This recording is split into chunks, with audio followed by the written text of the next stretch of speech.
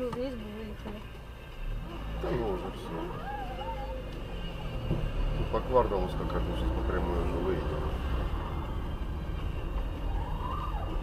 Тем более там выезд не самый лучший. Но обычно таксисты наоборот сюда не едут. Не знаю, кстати, почему. И мне нравится эта яма. Я бы никому не нравится. Ну да. Фу, что ж так сушит? А, Водички, бутылочку в руках все время. Да надо.